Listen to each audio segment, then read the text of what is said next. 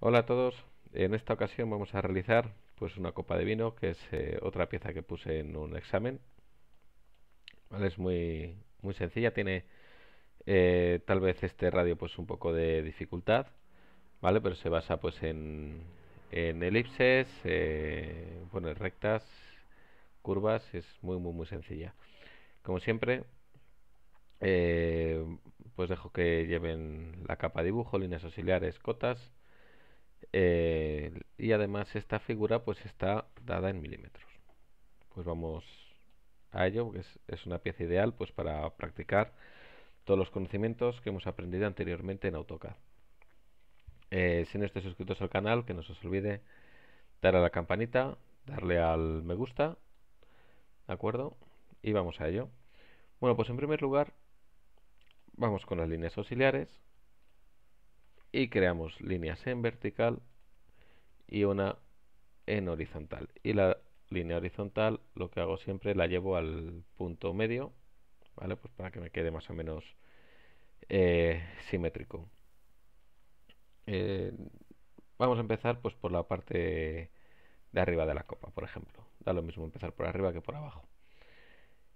En la parte de arriba pues vamos a hacer líneas auxiliares a 35 de alto, pues para coger ese punto vamos a coger otra de 69. Ahí está. Luego bajamos a 96 y vamos a bajar a 40.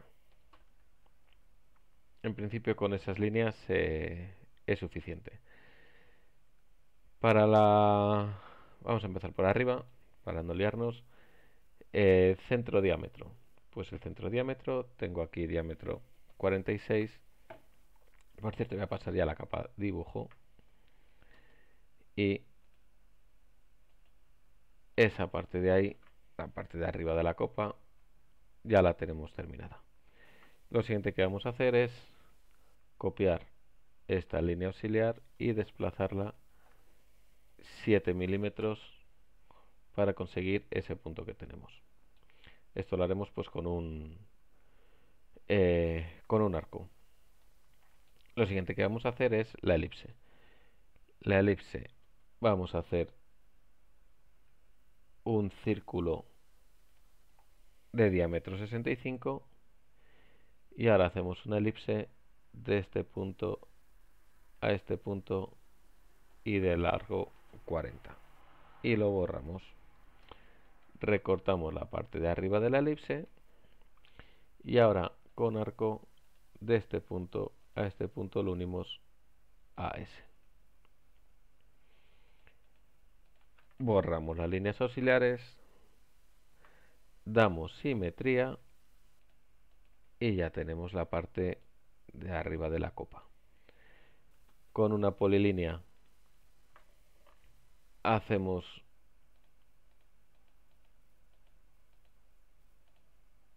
más o menos el corte. Ese punto me ha quedado un poco chuchurrío. Le voy a bajar ahí. Hacemos un desfase, según está aquí, de 1. Hacemos un desfase de 1. Ahí. Y que no se os olvide alargar la pieza arriba. Alargamos esta pieza ahí arriba. Recortamos todas las líneas sobrantes esa, esa y esa. A ver, ahí ya está. Y ahora le damos un sombreado. Ahí está. Cerrar. Y le cambiamos a la capa de sombreado. Muy bien. Pues ya lo tengo. Lo siguiente que vamos a hacer es el toda esta parte de aquí, el vástago y el, y el pie de la copa. Voy a acercar un poco más la pieza. Vamos a ello. Eh, este tiene un ancho de 7. Pues hacemos un desfase de 3,5 de este eje vertical hacia la izquierda y hacia la derecha. Igualo propiedades y ya lo tengo. Recorto las líneas de arriba. Bueno, ahora vamos a tener un pequeño problema. ¿Cuál es? Que si yo hago un palme y pongo RA radio 4, digo, quiero que sea tangente a esta línea. A ver. Empalme. Radio 4. Designe objeto. Tangente. Quiero que sea tangente a esa línea. Y aquí, bueno, no sé qué pasa. Primer objeto. Segundo objeto. Ahí. Si os das cuenta, ahí me deja. Ahí no me deja, el empalme no, es tangente, es en esa línea auxiliar me deja, pero en la elipse, ¿veis? No me deja. Está prohibido. Imposible empalmar estos dos objetos. Vale. Digo, voy a probar con círculo, tangente, tangente, radio. Digo, este es tangente a este, este le quiero tangente a este, pero tampoco me deja. Y me dice, el segundo punto no es posible. Aquí sí. Y ya le podría dar radio 4, pero tampoco me deja. ¿Qué es lo que se hace? Pues como no puedo eh, jugar con estas líneas, lo que tengo que hacer es sacar el punto al exterior. Para ello, el radio tiene que ser tangente a esta curva y tangente a esta curva. Pues eso ya lo hemos empleado en piezas anteriores. Lo que hago es una equidistancia de radio 4 de esta elipse. Hago una equidistancia de radio 4 de esa recta. Y ahora hago un círculo de radio 4 con las dos líneas que se me han cruzado. Recorto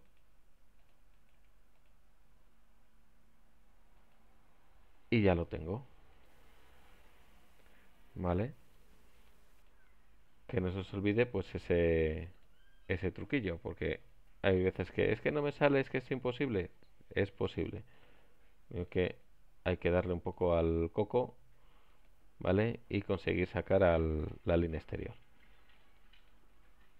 Bueno. Desea borrar, eh, no, ya lo tengo. Entonces toda esta parte ya la tengo. Ahora, eh, me dice aquí, zonas merilar para vinos y tengo que tener esta pieza de aquí. Eh, pues yo me voy a arco y digo de este punto a ese punto a ese punto. Entonces, edit pole lo quieres transformar en una así, grosor 0,2. Ya lo tengo. Ahí está. Siguiente esta base de esta base de aquí está 96 por lo tanto toda esa línea me sobra. Voy a hacer un rectángulo de 65 y de alto 2,5 rectángulo de 65 de largo y de alto 2,5 punto medio punto medio y ahí le tengo. ¿Vale? Círculo de ahí a ahí y lo llevo al borde. Simetría y recorto. Lo podría hacer con con un empalme, pero bueno. Así veis otras técnicas pues muchas veces es que estas curvas no me salen y son súper súper sencillas de hacer. Recorto. Ya está. Ya está la base. Lo siguiente que tengo que hacer es eh, bueno todo este de aquí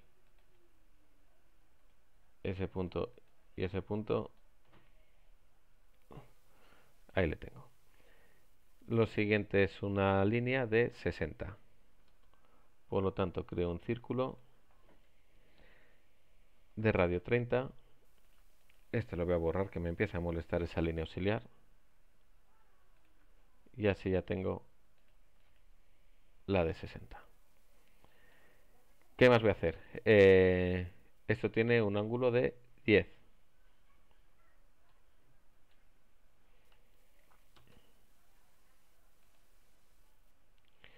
Pues creo una línea, pues más o menos por aquí. Y esto lo giro respecto a este punto menos 10 grados. Y ya tengo esa pendiente. Ahora, tengo un radio de 3. Pues empalme RA3 de ese punto a ese punto. Y ahora tengo aquí que darle un grosor de 0,2. Entonces hago un círculo de 13. Hago un círculo de 2,5 desde el punto medio. Y pongo una línea recta. Y este lo doy un grosor. Bueno, esto por cierto se me ha cambiado, se me ha olvidado cambiarlo a magenta. Esto lo pongo del mismo grosor que antes. Vale. Borro esa recta. Simetría. Hago la simetría del otro vástago y ya tengo la copa totalmente terminada. Como veis es una pieza muy muy muy sencilla. ¿Vale? Pero que tiene pues su, su miga en determinados puntos. Vamos con las cotas. Las cotas. Vamos a hacer un par de cotas, por ejemplo. Bueno, ese punto le he borrado. No le tenía que haber, que haber borrado antes de la cota. Pero no pasa nada porque se saca en un momento. Esto lo desplazamos 7. Y ahora, de ese punto a ese punto tenemos, bueno,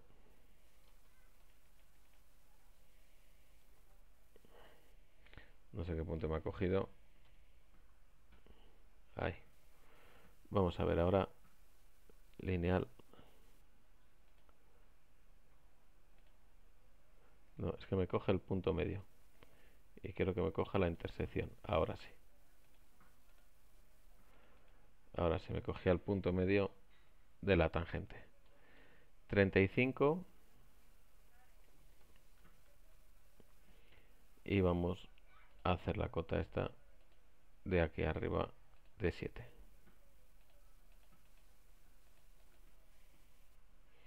Vale. Le podemos dar más cotas eh, veamos aquí de este punto a este punto 46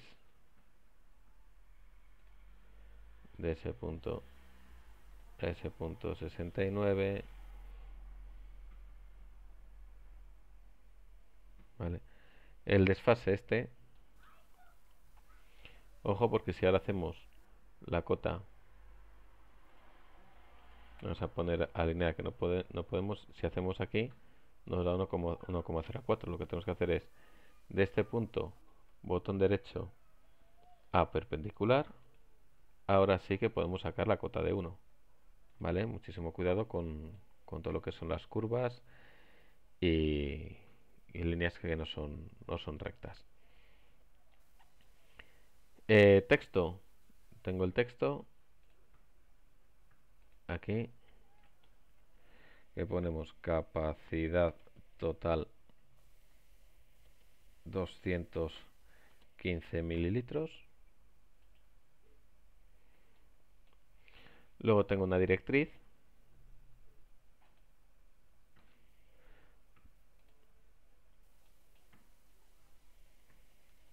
borde del cáliz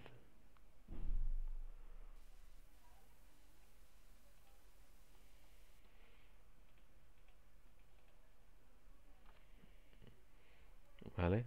Ahí lo tengo. Bueno, pues eh, poco a poco pues sería ir haciendo pues todas las todas las cotas. Em, lo único que digo tamaño de flecha 2 y altura de texto 2, por lo tanto, la directriz sí que la tengo que poner en propiedades y altura de texto 2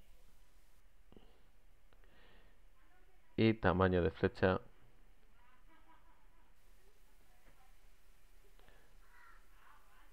¿Dónde está el tamaño de flecha? Entonces el segmento, altura, distancia de espacio. Vamos a reducir esto también. Ahí está. ¿Vale? Ya tengo la, la directriz específica que de 2 y 2. Este de aquí, eh, si os dais cuenta, la pieza ya no me viene con flechas, entonces la flecha la tengo que cambiar por oblicuo. Esta, la flecha 2, también la tengo que poner en oblicuo. Tamaño de flecha 2.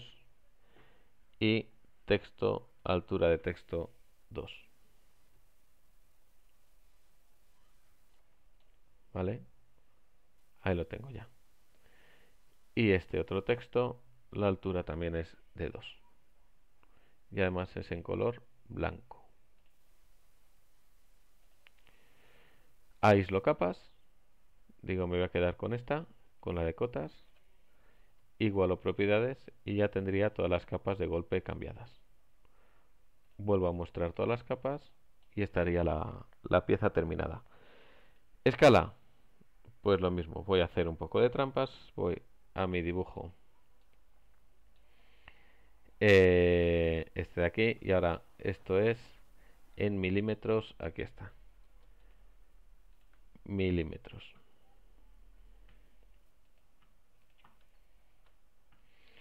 Por ejemplo, un truquito, aunque haremos un apartado de, de trucos, esto lo he borrado.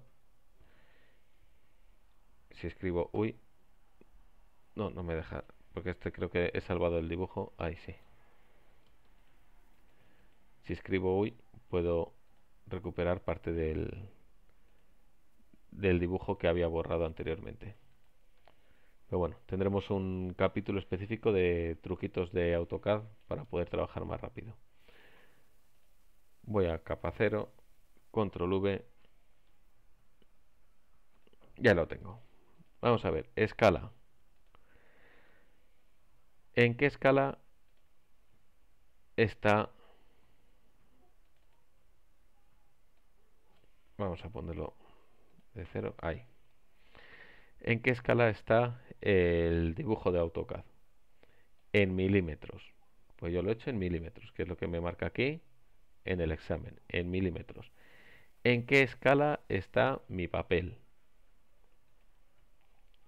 Pues lo voy a comprobar. 29,7 por 21 centímetros. ¿Vale? Por lo tanto, si la unidad en AutoCAD está en milímetros y el papel está en centímetros, es 1 es a 0,1, lo que es lo mismo 10 es a 1. Si yo el papel le escalo por 10,